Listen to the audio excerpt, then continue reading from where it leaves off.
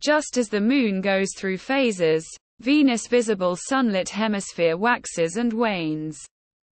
This sequence of telescopic images illustrates the steady changes for Venus during its recent 2023 apparition as our evening star.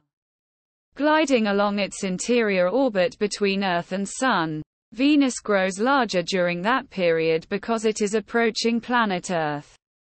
Its crescent narrows though, as the inner planet swings closer to our line of sight to the Sun closest to the Earth-Sun line but passing about 8 degrees south of the Sun. On August 13 Venus reached its non-judgmental inferior conjunction. And now Venus shines above the eastern horizon in pre-dawn skies, completing its transition to planet Earth's morning star.